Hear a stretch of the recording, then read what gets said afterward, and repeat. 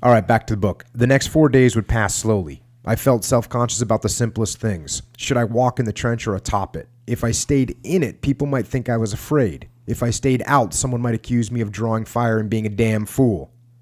They didn't teach you the finer things at Quantico.